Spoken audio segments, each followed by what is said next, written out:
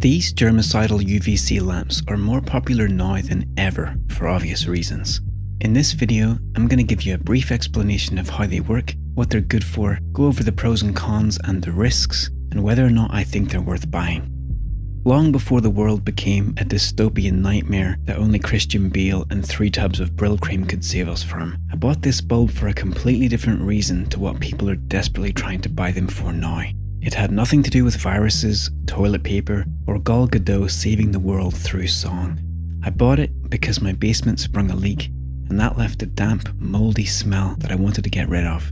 This fairly inexpensive device emits ultraviolet light, and a lot of it falls within a small section of the electromagnetic spectrum we call UVC.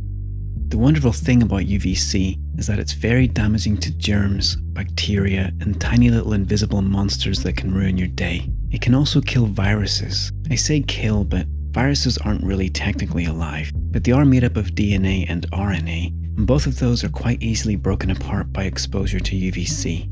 So, at a reasonably close range, say in a small room for example, these lamps are very effective at killing viruses that remain on surfaces. The trouble is, humans also happen to have a fair amount of DNA and RNA, and that's where the danger lies. This is only a 25 watt bulb, but it produces such a high intensity of UVC that it can start to damage skin in a matter of seconds. A few minutes of exposure at close range will result in sunburn, and repeated exposure can eventually cause skin cancer. There's no tanning with these bulbs, only burning. The eyes are another very vulnerable part of the body, as just a few seconds of looking directly at the light can damage cells on the surface of the cornea. I've experienced this myself when arc welding some metal parts together as a kid. The arc emits a flash of UVC in just a few quick welds without a welder's mask, and it was in the top three most painful experiences of my life so far. So if you're going to buy one of these, you need to keep your skin and eye exposure to the absolute minimum. I wore one of these when I was making this video, and I only turned the bulb on for a few seconds at a time. Another risk or benefit, depending on how you look at it, is that one side effect of emitting strong UVC in air is the production of ozone. Some bulbs have a coating on the crystal tube that blocks the wavelength that produces ozone, but I went for the bulb that has no coating because I actually wanted that effect. So how do you tell them apart?